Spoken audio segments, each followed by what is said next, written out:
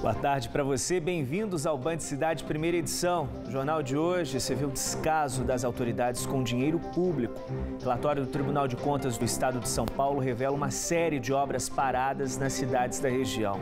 Em Caçapava, construções de uma creche e de um posto de saúde estão abandonadas.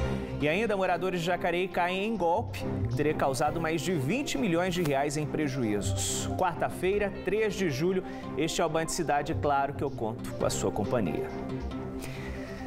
Desde 2017, os moradores de Caçapava aguardam pela entrega de uma unidade de saúde na Vila Galvão e uma creche-escola no bairro Guaramirim.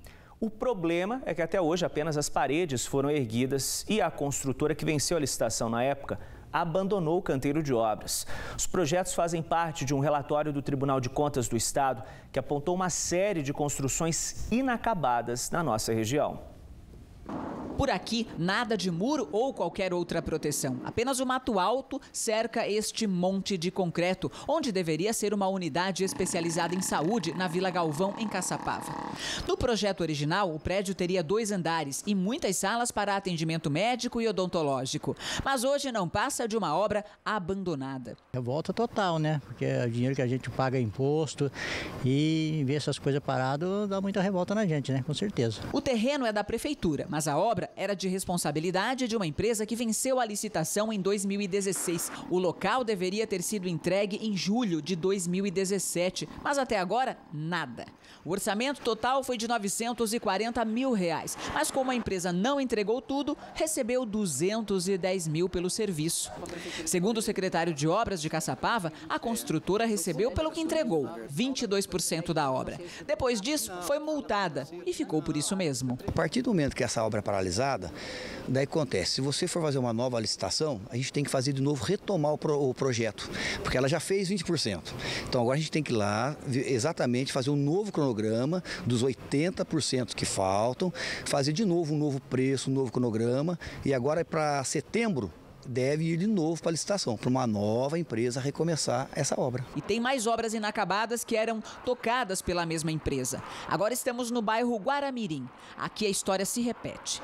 Também em 2017, a construtora deveria ter entregue uma nova creche escola coisa que nunca aconteceu. R$ 934.571,10. Esse foi o valor do orçamento que a empresa deu à prefeitura para entregar uma creche pronta. Mas isso foi em 2016. Estamos em 2019 e o que a empresa entregou é isso aqui que vocês estão vendo. E por esta obra inacabada, a empresa também recebeu mais de 200 mil reais. Os dois projetos estão no relatório do Tribunal de Contas do Estado, que mostra um raio-x das obras inacabadas em várias cidades paulistas. Segundo o secretário de Obras, a prefeitura não tem o que fazer quando uma empresa que venceu a licitação não entrega a obra, a não ser multar e abrir nova licitação o que deve acontecer ainda esse ano. Para a empresa que vai chegar agora, ela sabe que vai pegar uma obra é, que já tem 20%, ela vai pegar os outros 80% e com um cronograma novo, né, com novos preços, novos custos. Então é independente. É para a nova empresa será uma nova obra. Enquanto isso, a população fica sem um serviço, né? Nós procuramos a construtora que venceu a licitação na época, mas não conseguimos retorno. Sobre a creche, o Fundo Nacional de Desenvolvimento da Educação informou que aguarda a retomada da obra para a liberação do restante do dinheiro. Unidades de estratégia da família de Aparecida estão com atendimento parcial nesta quarta-feira. Com o fim do contrato da empresa responsável pelo serviço na cidade, a Prefeitura decretou calamidade na saúde para viabilizar a contratação emergencial de uma nova prestadora para a retomada da normalidade nos atendimentos, o que só deve acontecer na semana que vem. Os pacientes estão sendo encaminhados para unidades centrais. Pelo menos 20 pessoas já registraram boletim de ocorrência na Polícia Civil de Jacareí contra uma mulher acusada de orquestrar um golpe, onde oferecia lotes de investimentos com retorno de até 200% do valor aplicado. A suspeita é que ela investia esse dinheiro em bitcoins, que é uma moeda virtual. O prejuízo às vítimas chega a 20 milhões de reais. A mulher continua foragida. As vítimas compareceram ao primeiro distrito policial de Jacareí nesta terça-feira para prestar queixa contra a corretora de propriedade de uma empresária do ramo do vestuário. Segundo as vítimas, o esquema acontecia de forma parecida com uma modalidade de investimento conhecida como pirâmide financeira, onde quem está no topo recebe os valores investidos por quem é convidado para entrar no sistema. De acordo com o boletim de ocorrência, a dona da empresa mantinha um escritório nesse prédio comercial no bairro Vila Branca, em Jacareí. Ela oferecia lotes de investimentos financeiros com promessas de retorno que chegavam a 200% no final do período.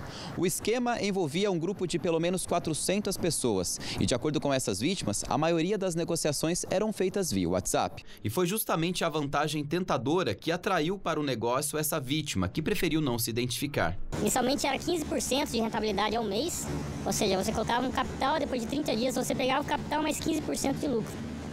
E isso aí foi indo, houve possibilidade de, da hora de resgatar o dinheiro, é, girar esse valor para continuar no investimento. O homem conta ainda que investiu 120 mil reais e que até chegou a receber alguma quantia como lucro. Mas na sexta-feira a proprietária teria comunicado falência e por isso estaria encerrando o negócio, mas que ninguém sairia no prejuízo. Como sexta-feira era dia de pagamento e o pessoal começou a reclamar que não estava recebendo, ela mandou um comunicado dizendo que ela tomou um golpe, que ela perdeu o dinheiro porque estava aonde a fábrica que ela investia sumiu com o dinheiro mas ela falou para não se preocupar que ela ia conseguir pagar, ela ia bancar qualquer prejuízo de, de qualquer investidor. Ninguém sabe onde ela está, é, ela não responde contato, a família disse que não sabe, a família também disse que a família investia, toda a família dela disse que também tomou prejuízos, né? É, o caso continua sendo investigado pela Polícia Civil de Jacareí.